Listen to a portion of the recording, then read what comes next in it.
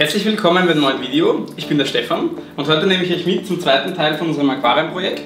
Es hat jetzt Darkstart hinter sich, knapp einen Monat, ich denke es sind jetzt fünf Wochen. Äh, wir haben noch Bakterienbelag, nicht zu wenig und vor den Bepflanzen werden wir das Ganze noch ein bisschen abschrubben. Da nehme ich euch jetzt mal mit und nachher geht es an die Pflanzen.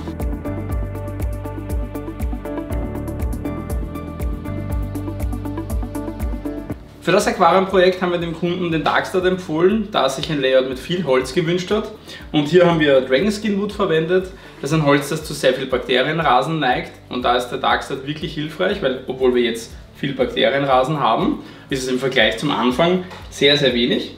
Und so haben wir viel weniger Risiko mit den Pflanzen, weil die Nitrifikation schon funktioniert und sich jetzt hoffentlich kein Bakterienrasen mehr bilden wird, der problematisch sein könnte für unsere Pflanzen. Um das Ganze jetzt noch schicker zu starten, bürstlich den ganzen überschüssigen Bakterienflaum noch weg, bevor wir das Wasser ablassen.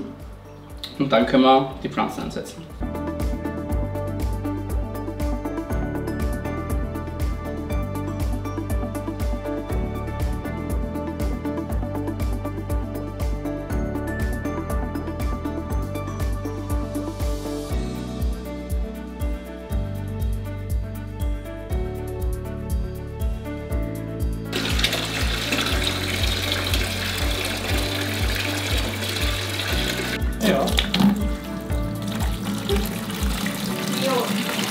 So, Part 1 ist abgeschlossen. Wir haben das Wasser abgelassen. Wir haben jetzt auch noch ein bisschen geschrubbt, den ganzen Bakterienrasen, der noch da war auf dem Holz und auch zum Teil auf den Steinen, haben wir jetzt entfernt, so gut es geht.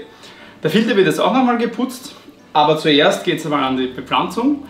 Wir haben heute richtig viele Pflanzen mit, also zwei Boxen, die zeige ich euch gleich. Äh, wir bereiten das jetzt alles vor, dass man nachher wirklich nur noch einsetzen muss. Ich finde, das funktioniert viel besser, wenn ihr im Vorhinein alle Pflanzen vorbereitet und dann nur noch einsetzt. Das Aquarium hatte eine Vorlage bei uns in der Galerie, gab es ein Aquarium, das dem Kunden besonders gut gefallen hat. Wir haben uns da versucht daran zu orientieren. Ist nicht exakt dasselbe, das Aquarium ist ja deutlich größer als bei uns, deswegen haben wir zum Teil auch größere Pflanzen ausgewählt, aber im Groben haben wir ähnliche Pflanzenauswahl. Ich gehe das kurz mit euch durch. Wir haben Bodendecker, grasartiges Zeug, also Eleucharis, Helantium, Phlyxa japonica ist dabei. Viele grasartige Bodendecker, die uns den mittleren Bereich im Soil machen werden, gemischt mit Kryptokerinen, also Wasserkelche. Das sind so mittelgroße, ja, mehr oder weniger grasartige Pflänzchen. Davon haben wir ein paar unterschiedliche Sorten mit. Die sollen uns die dunkleren Bereiche, also die, diese großen Wurzeln, werfen auch große Schatten. Äh, brauchen wir Pflanzen, die damit gut zurechtkommen und da passen die Wasserkelche einfach gut. Dann haben wir im mittleren Bereich großes Hardscape. Dafür gibt es Fahne. Kongo-Farn ist auch, das, ist auch der, der Farn, der in der Galerie äh, aufgesetzt ist auf den Wurzeln. Und ich denke, der wird auch hier wunderbar passen.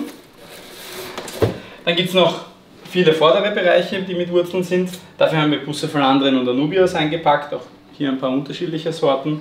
Und dann haben wir noch einen riesigen Hintergrundbereich, der voll ist mit Wasserfreunden, also Hygrophylen, Cyperus helferi, also wieder große Gräser und ein paar Rhodalas dürfen natürlich nicht fehlen für die Mitte, dass da auch farblich ein bisschen was Spannendes dabei ist.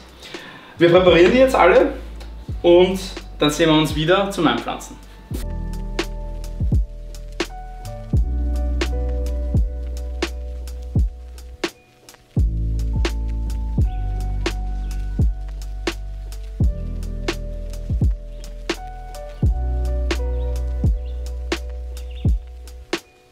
So, kleiner Tipp am Rande. Für das Layout ist sehr groß, wollten wir großen Volbites, also großen Kongo fahren. Und Topica bietet da was Tolles an, das heißt Aqua Decor. Das sind dann immer Holzteile mit großgewachsenen Fahnen drauf. Und wir haben sowohl Töpfe als auch diese Aqua Decors bestellt. Und hier nehmen wir jetzt einfach den Farn und mit einem kräftigen Ruck kann man die ablösen. Die sind nicht gebunden, die sind wirklich angewachsen auf den Hölzern. Das Holz braucht man in dem Fall nicht. Aber der Farn ist halt schon richtig groß gewachsen, eine XL-Portion. Den können wir dann platzieren, wo wir ihn eben benötigen. Also wenn ihr da mal was ähnliches vorhabt, Aquadecor haben wir auch immer im Laden oder sonst können wir es euch gerne bestellen. So, jetzt wird's ernst. Alle Pflanzen sind präpariert. Ist natürlich abgedeckt, dass uns nichts vertrocknet. Ich finde, das geht am besten Küchenrolle und ein bisschen Wasser. Wir haben jetzt von oben nach unten geschlichtet. So wie immer ist das erste was eingepflanzt wird, der Vordergrund. Das heißt, wir haben jetzt hier so wie vorher erwähnt, grasartige Bodendecker. Die machen uns den vorderen Bereich im Soil. Ganz vorne zwischen Sand und Hardscape kommen kleine Wasserkelche. Das zeigen wir euch gleich. Wir fangen jetzt mal an. Da ist ein bisschen Arbeit, das auf, die auf uns zukommt. Äh, da zeigen wir euch mal, wie das funktioniert. Ein kleiner Tipp noch, äh, Pinzetten mit dünnen Spitzen, also unser Favorit sind die ADA oder die Aqua Uno Tools, haben nämlich ganz kleine zarte Spitzen, damit kann man die kleinen Pflänzchen einfach am besten einsetzen.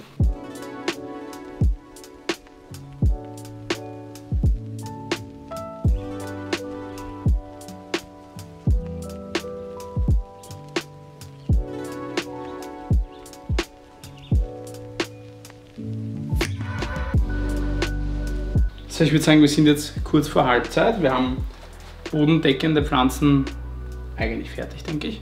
Machen jetzt gerade die Aufsitzer. Ich habe da gerade die Busse voll drin. Die kommen jetzt aufs Hardscape, wenig überraschend.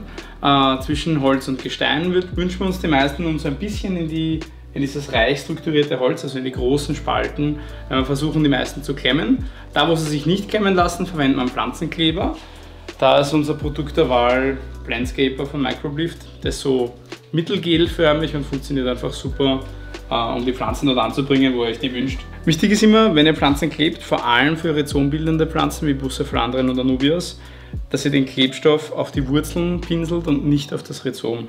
Das Rhizom ist quasi die Batterie der Pflanze, äh, da steckt die ganze Energie drin. Und wenn ihr das zu voll macht mit dem Klebstoff, dann könnte euch das die Pflanze übernehmen. So, ich habe die Wurzeln jetzt voll. Ich wünsche mir die da in der Ritze. Da setzen wir die jetzt einfach hin. Der Klebstoff braucht nur ein paar Minuten zum Aushärten und dann bleibt sie dort, wo sie hingehört.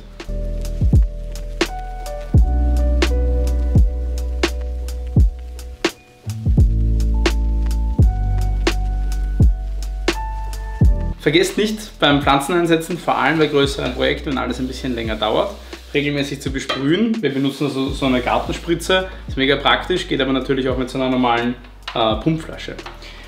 Wir haben jetzt die ersten aufsitzenden Pflanzen gesetzt, also Anubias bucephalandren sind wir durch.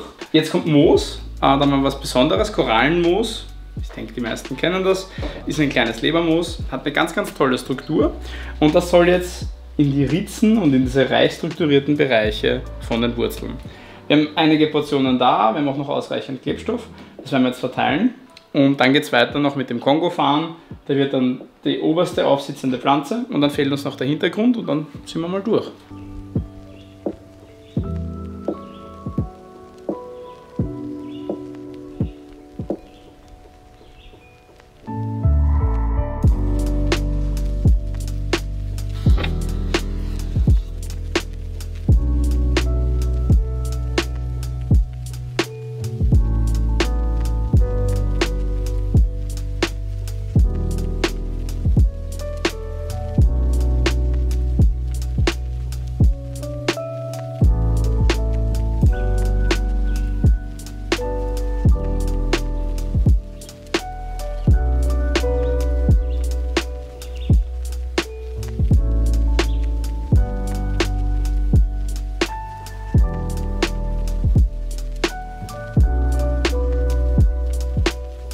Und nicht vergessen, eure Pflanzen zwischendurch immer wieder zu besprühen. Ich bin jetzt schon im Hintergrund. Jetzt kommt gerade Cyperus helferi. So eine große grasartige Pflanze, ganz, ganz äh, tolles Kraut, verwendet man super gern. Zyperngras heißt das auf Deutsch. Da gibt es auch noch wichtige News. Ähm, die Pflanze wird riesig groß. Also ich würde sagen so 60, 70 cm schafft die leicht. Wenn es nicht mal zu groß wird, könnt ihr die furchtlos auf Bodenniveau abschneiden, dann kommen wieder kleinere Blätter nach. So könntet ihr eigentlich in jedem Aquarium verwenden, ganz unabhängig von eurer Aquarienhöhe, passt sie so ziemlich überall.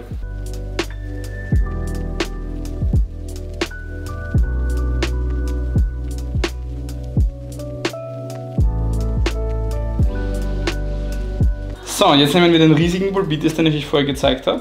Im Vergleich, ein Bulbitis aus dem Topf, also nicht nur, dass die Portion ist deutlich kleiner ist, auch die Blätter sind kürzer. Der ist jetzt aus dem Aqua Decor.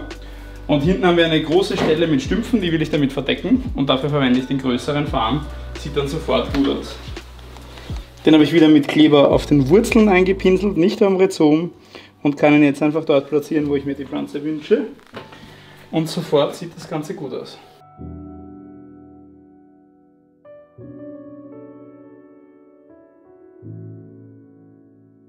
Zwischendurch immer besprühen.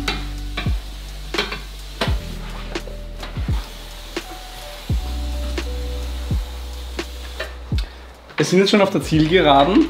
Das Aquarium ist jetzt ziemlich voll bepflanzt. Also wir haben jetzt Aufsitzerpflanzen, Moose, den Bolpitis, den Kongofarn, der an den Wurzeln hier on top sitzt. Der war jetzt unsere letzte Pflanze. Der Philipp kümmert sich gerade noch um den Feinschliff. Wir haben noch ein bisschen Korallenmoos übrig und der Philipp sucht noch die Stellen, an denen es fehlt. Da wird jetzt noch ein bisschen geklebt. Und dann geht es auch schon ans Befüllen. Dann werden wir noch die Technik installieren, die zeigen wir euch gleich. Es ist ein großer Außenfilter verbaut, der größte von JBL. Der kommt mit den knapp 530 Litern vom Aquarium wunderbar zurecht. Und wir werden zwei Diffusoren verwenden, weil die, die Strömung in so einem Aquarium ist nicht, nicht so ganz übersichtlich und damit wir überall ausreichend CO2 haben, verwenden wir zwei Diffusoren. Da zeigen wir euch dann gleich die CO2-Anlage, die hat zwei Ausgänge und es kommt ein Diffusor auf jeder Seite, sodass wir überall ausreichend CO2 haben. Okay, fast geschafft. Bepflanzung ist fertig. Wasser läuft jetzt schön langsam ein. Nicht zu schnell, dass jetzt ja nichts aufwirbelt. Jetzt haben wir Zeit für die Technik.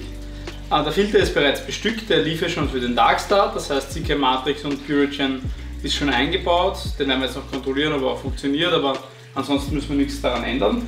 Aber CO2 fehlt uns noch. Wir haben da jetzt eine 2 Kilo Mehrweganlage mit einem Druckregler mit zwei Ausgängen. Um das CO2, wie gesagt, besser zu verteilen, haben wir dann noch zwei Diffusoren.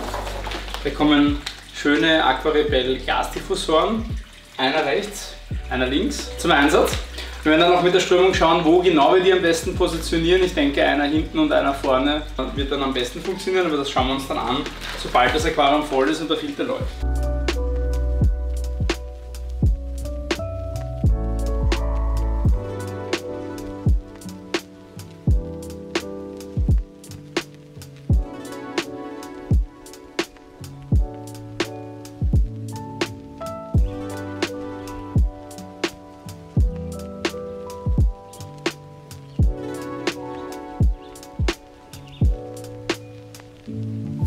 So, jetzt haben wir es fast geschafft. Ein paar Zentimeter fehlen uns noch. Jetzt kommt, so wie immer, ganz egal welche Aquariengröße wir haben, äh, unser, unser Helferchen, die Bakterien dazu. Das Aquarium hat jetzt einen Darkstart hinter sich, das heißt Nightout 2 wurde schon zumindest vier Wochen dosiert. Ich denke, es sind sogar fünf Wochen in dem Fall. Und jetzt kommt Special Blend, ein phototropes Bakteriengemisch dazu, weil jetzt leuchtet ja das Licht. Das heißt, ab jetzt sind alle Bakterien vonnöten. Und Special Blend funktioniert für uns da einfach am besten. Wir halten uns da einfach an die Dosierung, die sich der Hersteller vorstellt. Das sind 25 Milliliter je 100 Liter. Wir haben jetzt 530, also wir rechnen mal mit 500 und das dosieren wir einfach dazu. Das Licht wird jetzt noch ein paar Stunden leuchten. Das heißt, die Bakterien haben genug Zeit, um sich anzusiedeln.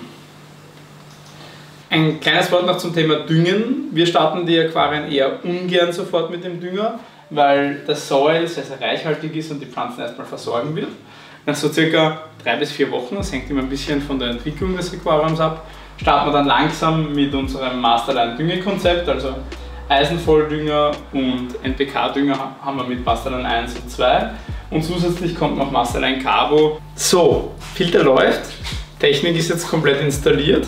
Auch die CO2-Anlage, wir haben jetzt noch die Position von den Diffusoren ein bisschen nachgebessert. Äh, das CO2 wird jetzt toll erfasst und ich denke, dass wir sogar ohne Strömungspumpe rauskommen werden. Müssen wir uns anschauen, was die Tage bringen. Wenn die Pflanzen ein bisschen höher stehen, wird sich alles nochmal ein klein wenig ändern. Aber so wie es jetzt aussieht, kommen wir erstmal ohne Strömungspumpe aus. Es freut uns immer sehr, so große Aquarien für Kunden einrichten zu können. Auch in dem Fall sind wir jetzt erstmal sehr happy mit dem Ergebnis. Und seid mit uns gespannt auf die Entwicklung in den nächsten Wochen. Jetzt wird sich einiges tun, steht viel Arbeit an, es gehört regelmäßig Wasser getauscht. Falls ihr irgendwelche Fragen zum Projekt habt, schreibt es uns bitte einfach in die Kommentare. Wir werden versuchen, das entweder in den Kommentaren zu beantworten oder im nächsten Video. Gut, ich hoffe, euch hat es genauso viel Spaß gemacht wie uns. Wir sehen uns beim nächsten Mal. Vielen Dank fürs Zusehen.